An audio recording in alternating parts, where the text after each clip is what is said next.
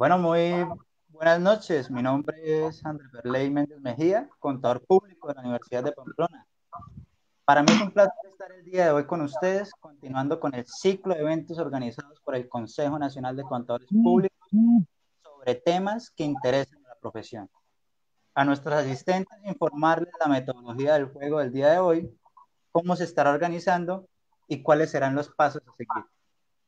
Como primero, Consejo Nacional de Contadores Públicos promueve la defensa de la profesión contable mediante la formación integral de los contadores públicos, fomentando así una conciencia para el uso racional de recursos, orientada a la conservación de un ambiente sano en defensa de la profesión. En el transcurso del evento, pueden realizar sus consultas e inquietudes para con nuestro panelista las cuales intentaremos dar respuesta en su totalidad. De igual forma, que las afiliaciones al Consejo Nacional de Contadores Públicos están abiertas, no tienen ningún costo alguno y pueden realizarlas desde nuestra página web docp.com. Como invitado hoy tenemos al contador público Luis Eduardo Muñoz Herrera. Luis Muñoz es contador público de la Universidad Nacional magíster en Administración de Empresas de la Universidad de Rosario. Igual forma es magíster en Filosofía de la Universidad Javeriana. Cuenta con experiencia como docente universitario en las universidades Francisco de Paula Santander, Universidad Libre y Universidad Colombiana. Cuenta con experiencia en el área de revisoría fiscal, auditoría y gerencia empresarial. Ha desarrollado proyectos de investigación y desarrollo empresarial, entre otros. El día de hoy, el contador público Luis Eduardo Muñoz nos hablará sobre lo público y la política en la contaduría pública. No siendo más, le daría paso a nuestro invitado para dar apertura al evento organizado el día de hoy, 3 de septiembre. Buenas tardes, estudiantes y profesionales de contaduría pública y demás visitantes. Agradezco la invitación que me ha hecho eh, mi querido amigo y gran trabajador de la Contaduría Pública, Andrés Ferrey, al igual que Erwin Rodríguez, a nombre del Consejo Nacional de Contadores Públicos. Presentaré respetuosamente algunas ideas para que ustedes las tengan en cuenta, los inquieten y les permitan formularse preguntas se trata de que se formulen ustedes muchas preguntas cuyas respuestas propias les ayudarán a encontrar el camino de la acción política para desarrollar lo público en la contaduría pública. Ese es nuestro tema del día de hoy. Lo público y la política en la contaduría pública. Lo público es de todos y por lo tanto está al servicio de todos. En un sistema de propiedad privada se supedita lo público a lo privado. Su propósito puede ser eliminar lo público. En una concepción es una concepción interesada. El sistema político que patrocina lo privado privilegia la ganancia y el interés como objetivos. En esas circunstancias, lo público desaparece. El Estado deja de ser organizador, ejecutor y regulador de las políticas públicas.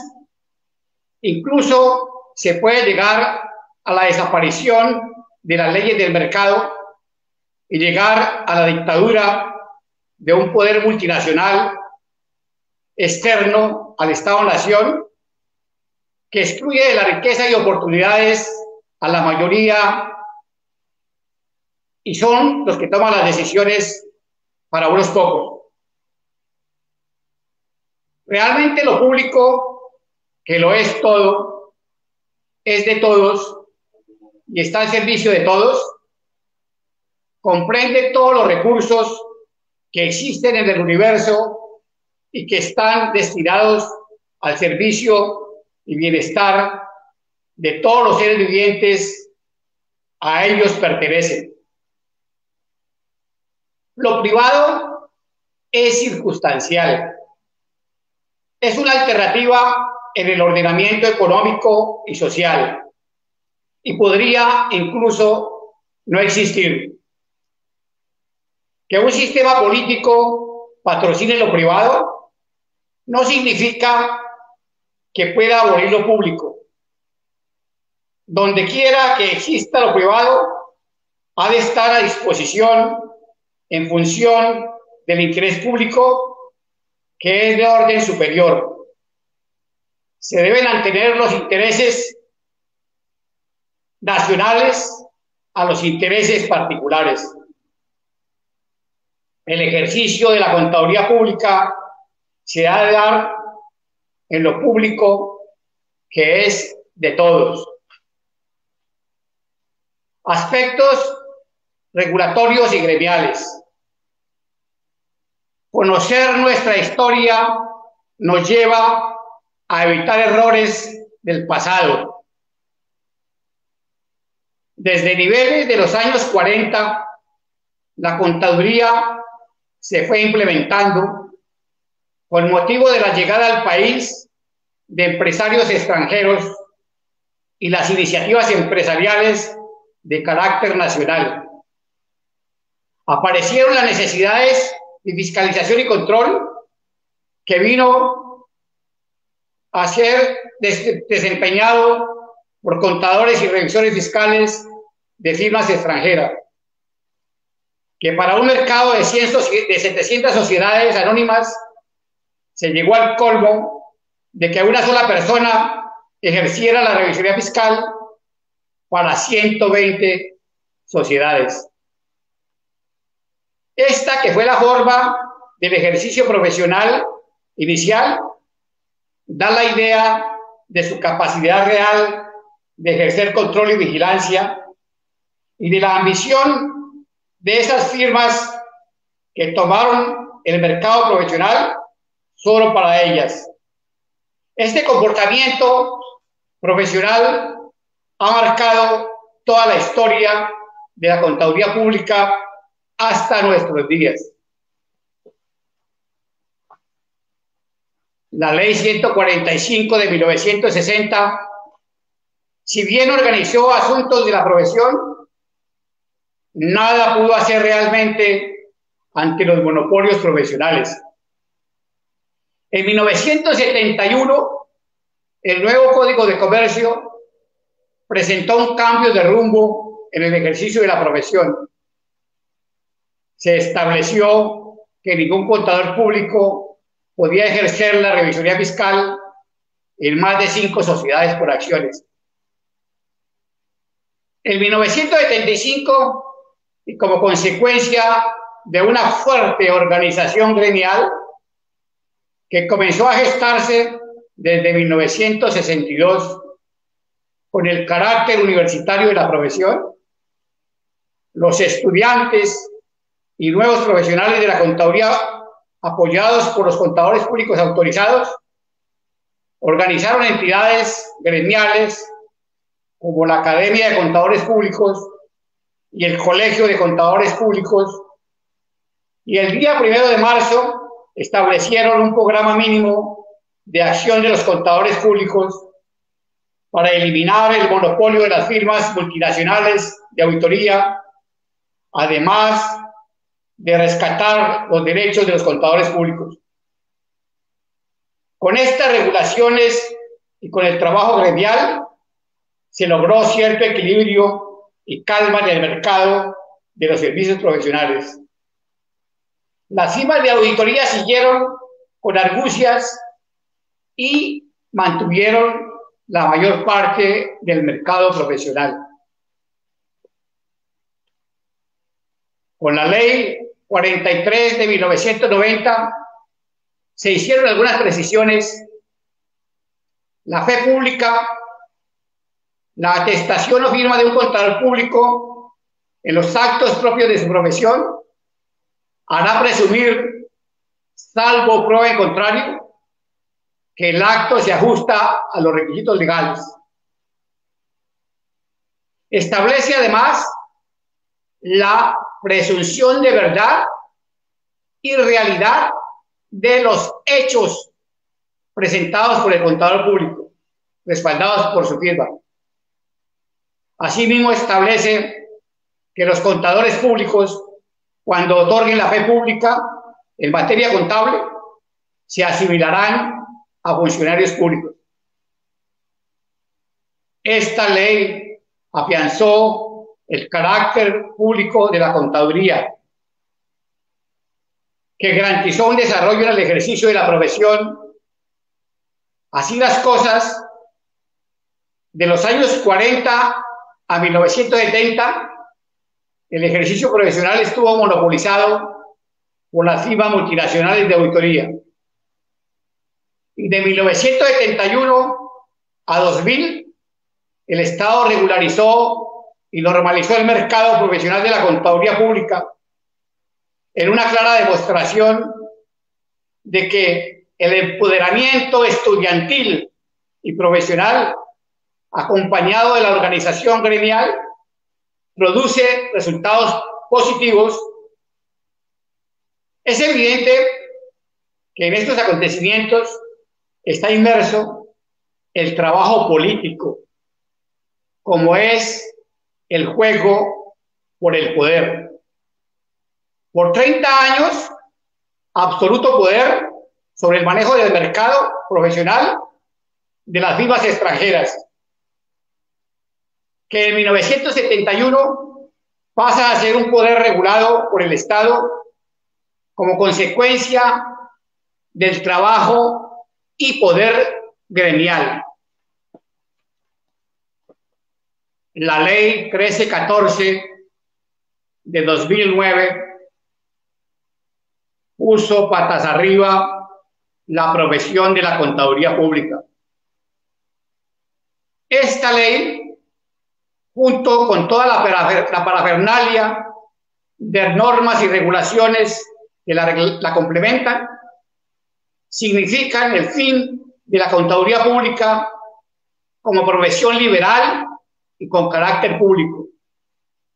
Además de que esta ley es atentatoria de la soberanía nacional y por consiguiente de la Constitución cuando se entrega a estándares preparados por extranjeros la regulación de nuestras normas de carácter público. Los vales no vienen solos. No solo fueron las firmas multinacionales de auditoría las artífices de esa reglamentación. ella está inmersa en el neoliberalismo y la globalización, que tiene por objeto terminar lo público ante lo privado. Liberalismo. El capitalismo basado en las ideas liberales ha sido la base de los gobiernos de Colombia desde 1930. De 1930 a 1974, un proceso de industrialización y agricultura en nuestro país. Y en general la economía fue guiada por la política del dejar hacer, dejar pasar, el famoso laissez-faire, laissez-passer. Las firmas extranjeras de auditoría y contabilidad tomaron el monopolio del mercado profesional que realmente mantuvieron hasta 1974. Desde 1974 hasta 1990 se ejerció una política proteccionista de la industria nacional y el Estado reguló la economía y las fuerzas del mercado. Esas políticas y regulación permitieron crecimiento empresarial y agrícola y una balanza comercial positiva. Exportábamos más de lo que importábamos. Teníamos superávit comercial. En este espacio, la contaduría pública tuvo un importante auge.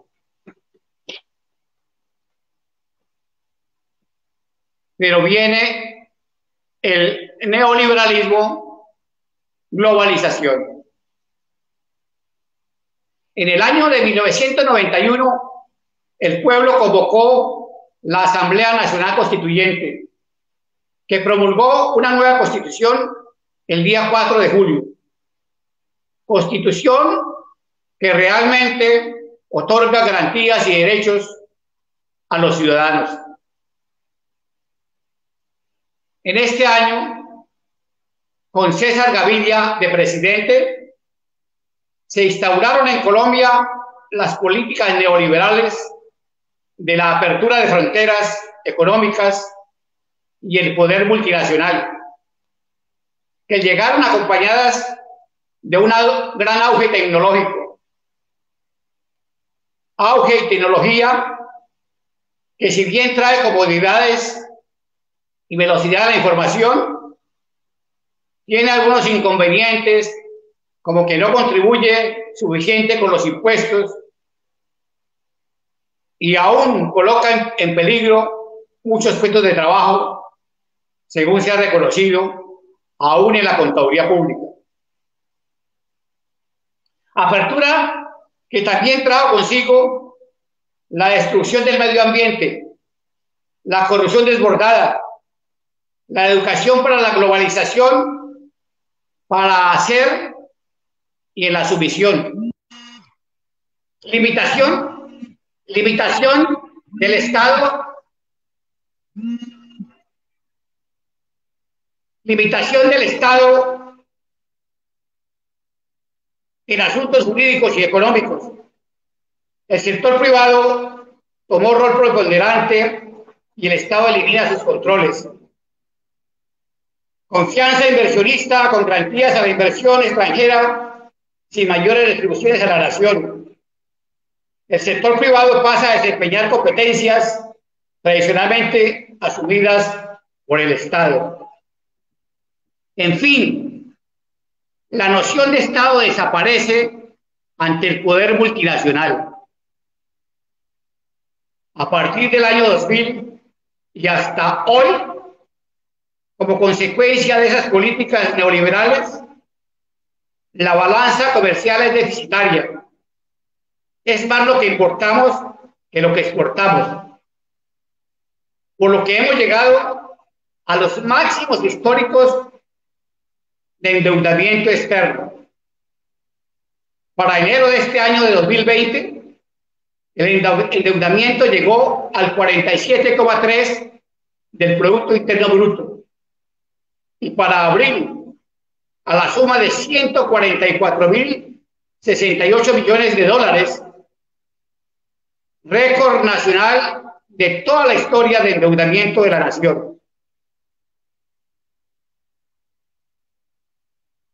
Que seguramente aumentará mucho más con motivo de los préstamos recibidos en la pandemia y que corresponde al 48.6 del Producto Interno Bruto.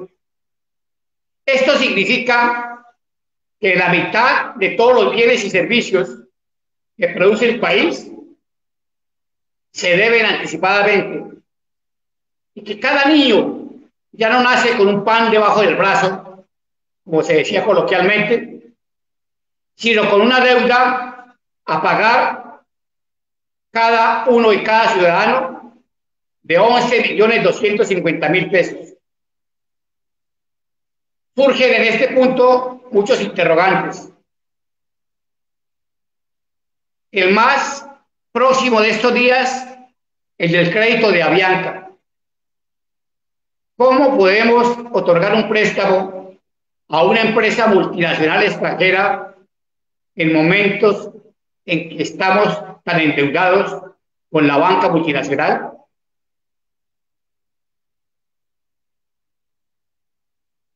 Y con tantos riesgos que tiene esa empresa. Estamos consumiendo al debe por las consecuencias en costos y dependencia que genera los impuestos que habremos de pagar y la riqueza nacional que habremos de entregar para pagar esa deuda y su servicio. El punto crítico de la contaduría pública será en ese ambiente neoliberal. Tecnocracia. En el liberalismo juegan un papel destacado los tecnócratas, funcionarios que se educan en el exterior y conocen los roles del Estado y de la banca nacional y extranjera, así como de los poderes multinacionales. Hacen un doble juego. Están en el Estado y están en lo privado, a través de la famosa denominada puerta giratoria. Es el caso del actual director de la DIAN, quien venía de la firma de abogados Brigari y Urrutia y de Ernest Shaw. Y el caso del presidente de la República, quien trabajó en el Banco Interamericano de Desarrollo en Washington antes de ser senador y presidente. Como ellos dos, hay muchos tecnócratas en el alto poder nacional. La tecnocracia fortalece y mantiene el poder multinacional. Odebrecht, Reficar, Hidroituango, los bonos de agua nos hacen ver lo que llamaré la corrupción legal son claros ejemplos de ese fenómeno que ha traído consigo el poder multinacional y la tecnocracia. Siempre existe una ley o un decreto que respaldan sus saqueos y su corruptela. El análisis de la situación política, económica y legal del país en esta etapa neoliberal nos muestra respecto de la ley de causa y efecto que el problema de la contaduría pública es un fenómeno que tiene como causa el poder multinacional, poder con política neoliberal cuya misión es obtener la máxima ganancia sin importar los medios ni las consecuencias sobre los ciudadanos que comprende la nación.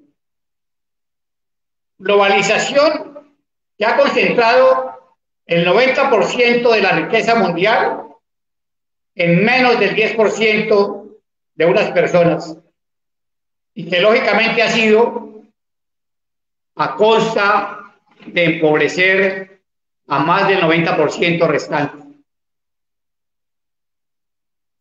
Papel de las firmas multinacionales de auditoría. Es realmente sorprendente observar cómo las firmas de auditoría mantienen su vigencia y sus negocios. El caso emblemático es el de la energética Enron Corporation, la séptima compañía más grande y rentable de los Estados Unidos en el año 2000. Se declaró en quiebra en el 2001 cuando sus acciones bajaron de 90 dólares en el 2000 a un solo dólar en 2001. Una periodista destapó el escandaloso fraude con su artículo presentado en la revista Fortune, titulado Enron está sobrevaluado. El contador, con la anuencia de los directivos, presentaba ingresos ficticios provenientes del valor presente de los flujos de negocios aún no materializados. Repito, porque es clave. Presentaba ingresos ficticios provenientes del valor presente de los flujos de negocios aún no materializados. Su propósito era mostrar una excelente situación financiera y óptimos resultados. Una buena imagen y hacer subir las acciones en el mercado de valores. A los directivos los bonificaban con acciones de la compañía que ellos realizaban a grandes precios. Esa situación se mantuvo de 1995 hasta el 2000. Todo esto ocurrió a la vista y con el trabajo de la firma Arthur Anderson, que ejercía la auditoría de Enron. 20 mil personas se quedaron sin trabajo. Muchas personas perdieron sus ahorros. Y Arthur Anderson desapareció. De cinco pasaron a ser cuatro las multinacionales de auditoría. El escándalo Enron generó gran desconfianza hacia las empresas, firmas de auditoría. Pero qué curiosidad.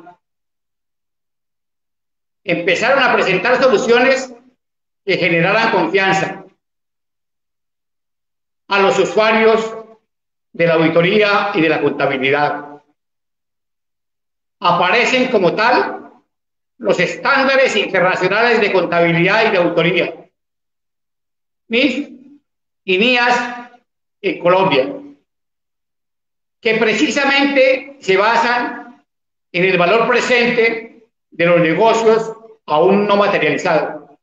O sea, son contabilidades y autorías para futuro. Es cosa de no creer.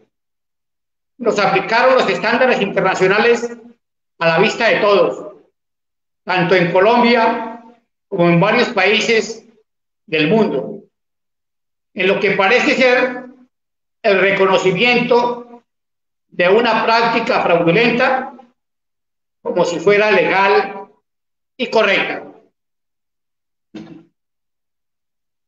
Las firmas de auditoría multinacional defienden los intereses multinacionales y ejercen como facilitadoras y garantes de sus negocios. Los casos de Lehman Brothers, PwC, Vivendi y Welcome Interest, entre otros muchos, son testimonios de los fracasos de las auditorías externas en el exterior. En Colombia, los grandes fracasos fraudulentos de Odebrecht, Interbolsa, Reficar y Electricaribe, para citar los más reconocidos, contaban con la revisoría fiscal y la asesoría de Ernest Young y de Price Waterhouse Coopers no es muy claro que en empresas de economía mixtas y del Estado ejerzan la revisoría fiscal firmas multinacionales de auditoría. Obviamente, las causas de los fracasos fueron el propósito de obtener desorbitadas ganancias y subir los precios de las acciones en la bolsa, que siempre los han llevado a mostrar información ilusoria y fraudulenta. Y la falta de independencia. Estas firmas contratan por sí o por interpuesta personas con un solo cliente todo tipo de asesorías y negocios que coartan su independencia. Miremos nuestra regulación actual. Realmente carecemos de regulación adecuada. Es increíble que en Colombia funcionen tres regulaciones de la información paralelas, diferentes y contradictorias. Por un lado, el Código de Comercio y la Ley 43 establecen lo fidedigno de la información los hechos reales que se desarrollan y de las funciones de vigilancia y control y fiscalización de la revisoría fiscal. Por otro lado, la letra 14 y sus complementarios establecen la razonabilidad de la información, el registro de los negocios a futuro y el control posterior de la auditoría. Adicionalmente, está el estatuto tributario que prima sobre los dos anteriores y contiene más de 20 diferencias de fondo con la normativa del 1314.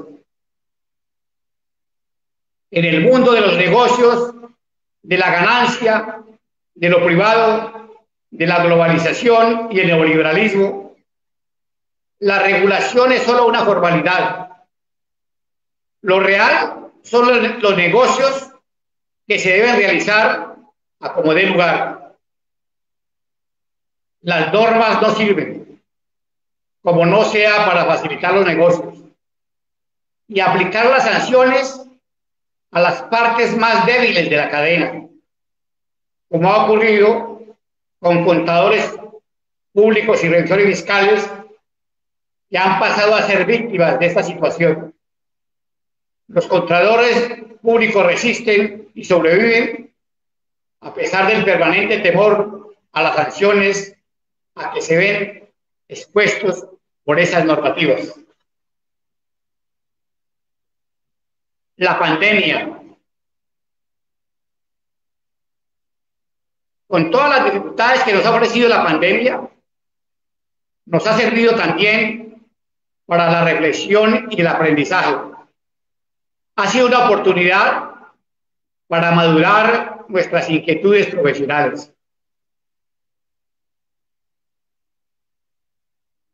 El día 21 de noviembre, a finales del año pasado, se manifestaron 3 millones de personas en Bogotá y 5 en todo el país contra la corrupción, la calidad de la educación, la muerte de líderes sociales y por la paz la gente toda manifestándose contra todas las barbaridades que ha traído el neoliberalismo globalizado. Segundo, el Consejo Técnico de la Contaduría convocó comités regionales que fueron realmente tomados por los contadores públicos nacionalistas a fin de presentar propuestas para la elaboración de un proyecto de ley a fin de reglamentar la provisión de la revisoría la provisión y la revisoría fiscal. En este punto señalo que la iniciativa y desarrollo de estos proyectos debe ser gremial, porque al ser institucional se corre el riesgo de un desvío multinacional, con la, la complicidad de, entre comillas, agremiaciones que siempre tienen doble agenda y hacen doble juego. Tercero, el contador público Esteban Correa, aquí en este mismo informativo la semana pasada, y en carta abierta además, señala la pasividad de los contadores públicos frente a los problemas sociales. Solo estamos en el mundo de las estrellas, como en el principito, pero aquí las estrellas PIF y Diana. Y olvidamos la función social de la contaduría pública, que debe estar comprometida con el interés social en defensa de lo público, lo que permitirá paz y esperanza a cambio de sangre y muerte. Nueve agremiaciones de contadores públicos expresan al ministro de Industria, Comercio y Turismo, entre otras cosas, estos tres puntos. Que la lucha contra la corrupción solo logra resultados con un ejercicio transparente y pulcro de la revisoría fiscal. La revisoría fiscal es anticorrupción. Segundo, que el camino para una reforma de la revisoría fiscal Comienza por las convocatorias democráticas. Tercero, presentaron un proyecto de ley para la reforma de la revisoría fiscal. La política. ¿Qué es la política? La política es el juego del poder. Por el poder, con el poder, para defender intereses la política, tengámoslo presente, señores contadores y estudiantes, es para defender intereses, que pueden ser personales o colectivos, de lo privado o de lo público. Al apreciar el estado de, cosas en nuestra profesión, como en toda la sociedad colombiana, encontramos que es necesario que hagamos política. Hemos de obtener poder para utilizarlo y lograr los cambios que se requieren. El poder permite tomar las decisiones para el cumplimiento de unos objetivos que respaldan nuestros intereses. En la situación actual, el imperativo es respaldar el interés de lo público. En lo público está la contaduría pública y sus posibilidades. En lo privado, neoliberal, la contaduría pública no tiene espacio y va a desaparecer. Ya conocemos lo que el Estado neoliberal ha hecho en los últimos 30 años a favor de la ganancia de lo privado de unos pocos nacionales y de las multinacionales. Esta situación se ha de corregir por nuestra participación política, que habrá de ser mayoritaria, y nos llevará al rescate de lo público, con leyes que defiendan este, que es el interés nacional, y que protejan al ejercicio profesional en nuestra labor de defensa de lo público. No podemos, además, seguir permanentemente al borde de la sanción penal. Somos víctimas y chivos expiatorios de leyes corruptas que defienden los intereses privados neoliberales multinacionales. Debemos, estudiantes, colegas y asistentes, debemos definir nuestro futuro y para eso tengo las siguientes propuestas. Debemos defender lo público, que es de todos, desde la contaduría pública.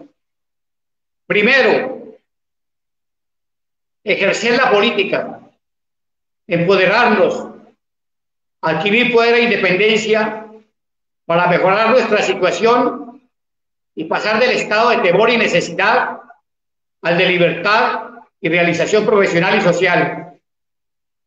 Para lograrlo, debemos comenzar por organizarnos gremialmente y con la fuerza de la organización gremial, tener el poder para que nuestros, nuestros proyectos de ley reglamentarios de la profesión se hagan realidad, que haya leyes que nos protejan a través del poder. Segundo, hacer política en lo personal, vecinal y social, que empieza por nuestro propio empoderamiento, que parte de creer en nosotros mismos y actuar en defensa de todos y todo que es lo público. Esto significa marchar al lado de nuevas corrientes diferentes al neoliberalismo y la globalización y al lado de ideas democráticas que permitan un Estado regulador y una economía que incluya a todos, donde como contadores públicos podemos ejercer con independencia, sin manipulaciones. Tercero, debemos reinventarnos como personas hemos de tener claro que el día es de 24 horas. 8 para el trabajo, 8 para la familia, lo social, el esparcimiento, el estudio y 8 para el descanso. Debemos salir del estrés, los plantones, el estrés y plantones ideal y del temor de las sanciones. Debemos vivir a plenitud en lo personal. Como profesionales y ciudadanos, debemos desempeñar una función social participar en todo lo público, de lo familiar, vecinal, artístico, protección del medio ambiente y política.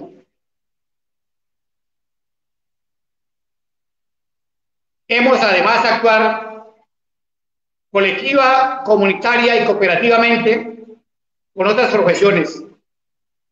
Tenemos asuntos comunes que regular. Los médicos, los ingenieros, los abogados, los economistas tienen problemas similares de regulación. Además, el trabajo interdisciplinario ha de ser una posibilidad profesional del futuro. Emprender negocios con el aporte profesional. Tener claro además que un sistema político neoliberal no nos conviene. No cubre nuestras expectativas. No satisface nuestros intereses. Debemos buscar y propiciar nuevos modelos. Permítame en este momento que les presente un verso del poema de Octavio Paz, Tierras de Sol.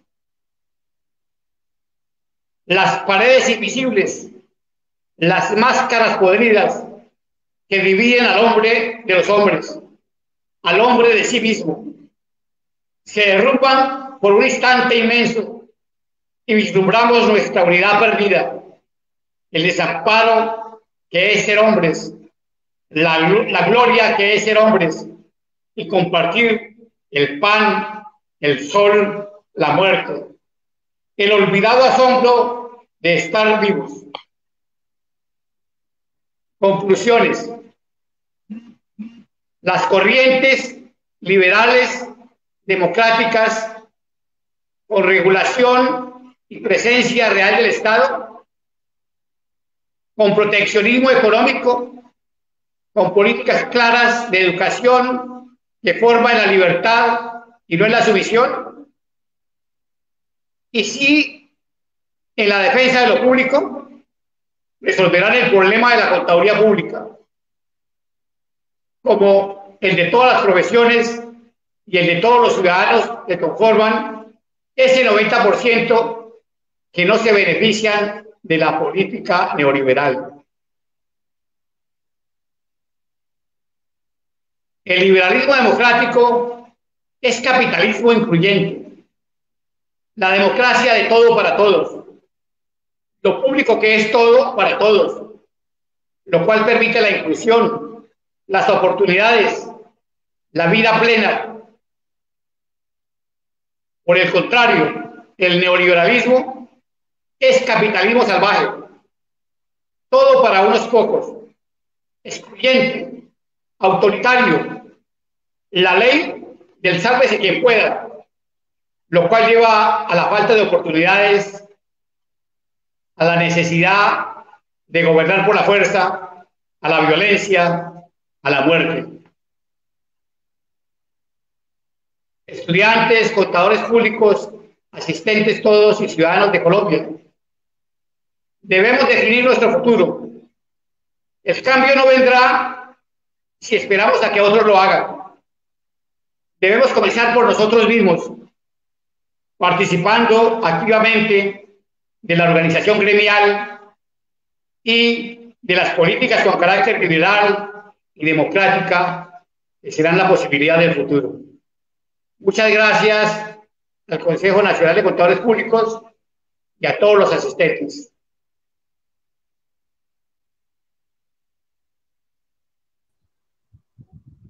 Bueno, muchísimas gracias a todas las personas que están el día de hoy conectadas en este evento del Consejo Nacional de Contadores Públicos. De igual forma, muchísimas gracias a nuestro invitado, eh, Luis Muñoz, por aceptar esta invitación el día de hoy. De igual forma, un saludo a Lazo Martínez, Andrés, a Carlos Alberto Pérez, que están conectados el día de hoy, eh, a Darley Carolina y a Adriana Carvajal. Por acá tenemos una pregunta. Eh, dentro de toda esta charla, hablábamos de defender los intereses del público, de lo público. Por no te escuché nada. dentro de toda la charla hablamos de defender lo interés, el interés público a lo privado. ¿Por dónde desde la profesión se puede comenzar?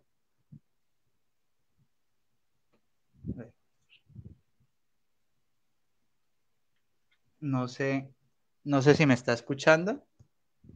¿No me escucha? Ya ahora sí me escucha.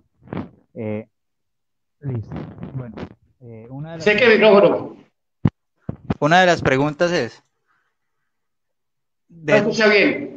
Dentro de la charla, dentro de la charla, eh, se habla de la temática de defender el interés público. Está bien que los colegas y estudiantes presenten las, las preguntas a través del chat las vamos respondiendo.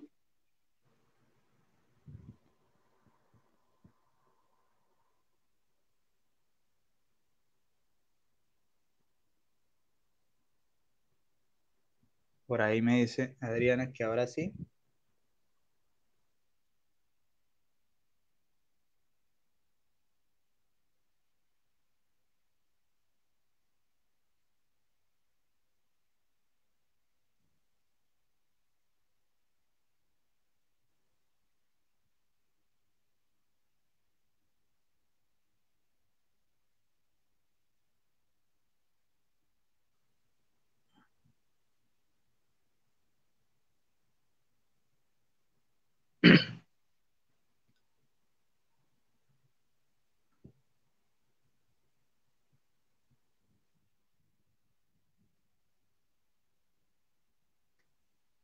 Por acá nosotros escribimos unas, unas preguntitas eh, para que usted las pueda visualizar.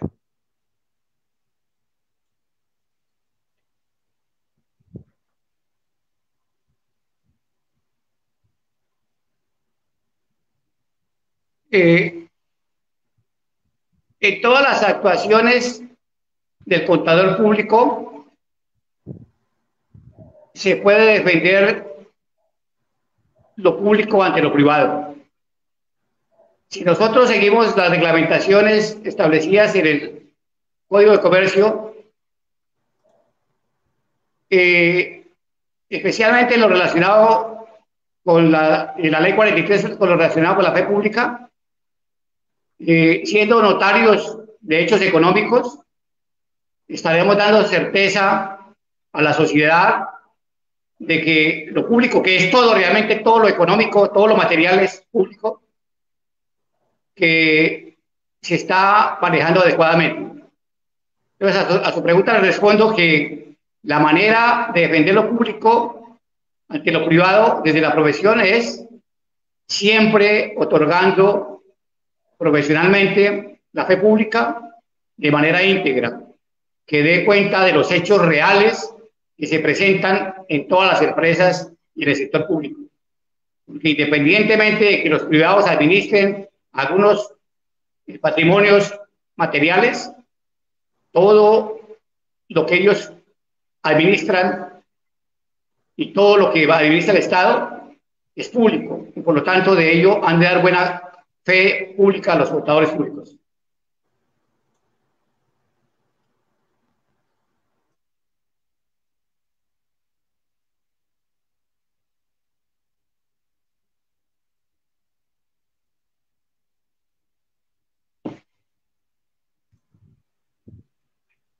Un poquito más grande la letra.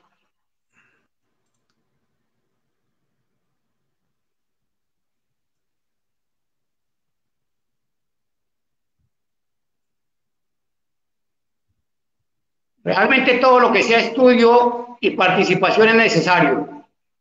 Hemos de estar en todos los frentes y plantear nuestras posiciones. El contador, el contador público y los estudiantes de contaduría indiferentes eh, es cosa del pasado. El presente es la participación. Si queremos una contaduría pública en defensa de lo público, hemos de participar, hemos de actuar en todos los escenarios, en todas las posibilidades que nos ofrezcan estará nuestro pensamiento, estará nuestra acción. Ahí, Luis, eh, para culminar, yo tengo como, bueno, por acá tenemos una pregunta de Adriana Carvajal, vamos a agregarla por acá.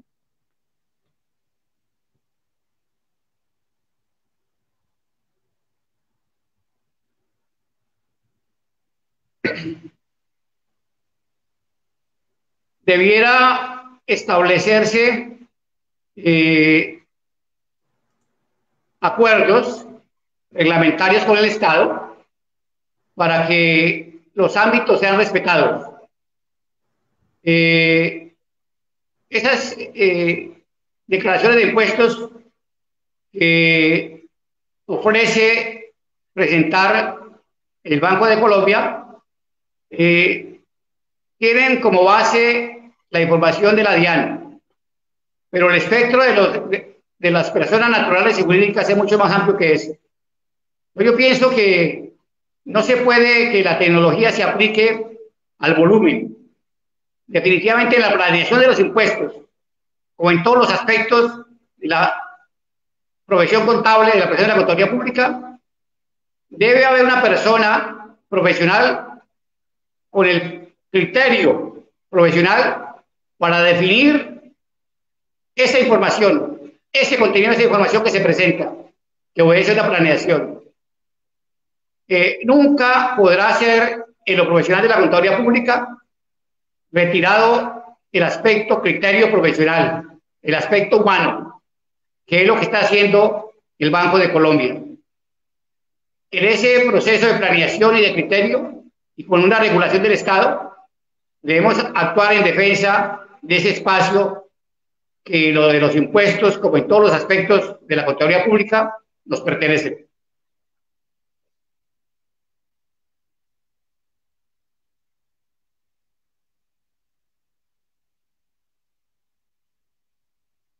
Eh, esa pregunta es muy interesante. Eh, la revisoría fiscal eh, es la que protege lo público, tanto en las entidades privadas como en las...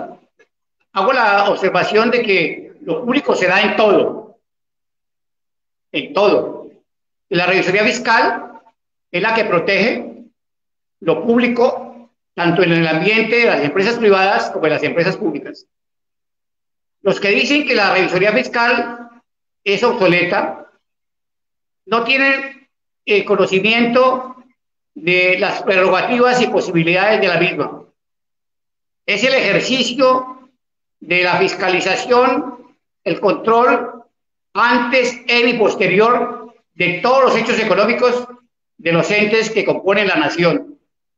Luego, es necesaria la revisoría fiscal en defensa de lo público, más cuando quieren contraponer como solución a eso que ellos llaman obsolescencia de la revisoría fiscal, a la auditoría, que, como traté de presentarlo, es un evento posterior a los hechos, cuando ya está todo cumplido y que facilita la corrupción, facilita el espionaje multinacional y el solo desarrollo de los negocios multinacionales. No da garantías a los demás usuarios y componentes de la sociedad colombiana. Yo sí creo que la revisoría fiscal no se ha de acabar, se habrá de fortalecer, no es obsoleta, posiblemente la obsolescencia, y más que la obsolescencia, la incompetencia está por el lado de la autoría. Fortalezcamos la revisoría fiscal, que en ella y la fe pública está la esencia de la contaduría pública. Quieren disminuir la fe pública y la revisión fiscal, con lo cual terminarían con la profesión. La profesión no es porque seamos contadores que se debe mantener, sino porque está en la esencia de la nación. Y la esencia de la nación es lo público, que es de todos, y ella, fe pública y revisoría fiscal en la contaduría pública, están permanentemente protegiéndola. En esta pandemia incluso se ha establecido es el evento fundamental necesario en este momento, como es que la revisoría fiscal es anticorrupción, evita la corrupción y por eso se la ha de fortalecer.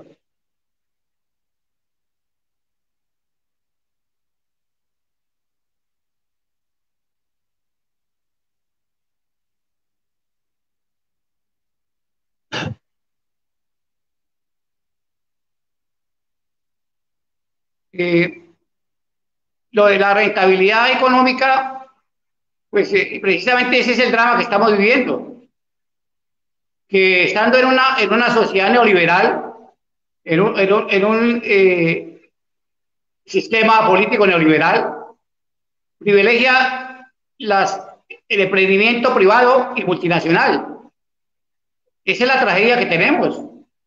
Eh, nosotros no estamos en el país produciendo nada. Este era un país agrícola y era la despensa universal, según lo que, lo que se planteaba por los años 70. Pensábamos exportar al Japón y muchos países los frutos de nuestra agricultura. Y con motivo de la, de la globalización y la apertura, la, la apertura de fronteras, y los TLC, la globalización nos metió en el negocio de las semillas.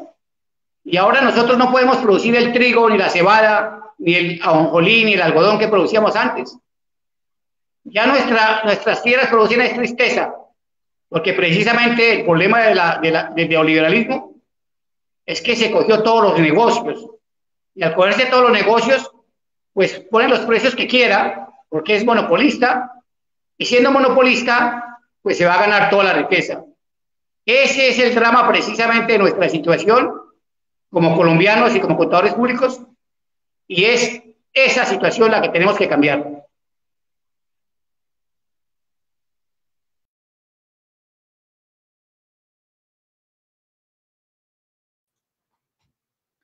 Eh, bueno, muchísimas gracias a todas estas personas que están conectadas el día de hoy. dar espacio a nuestro presidente. Eh, para nosotros es un placer eh, estar el día de hoy con ustedes. Recuerden que todos los jueves pueden estar conectados por un Facebook Live. Eh, la próxima semana intentaremos traerles un tema sobre las normas internacionales de información financiera y cómo influye eh, en los impuestos de renta en Colombia. De igual forma, eh, muchísimas gracias a todas estas personas que están conectadas el día de hoy y, nos vemos el próximo jueves. Muchísimas gracias.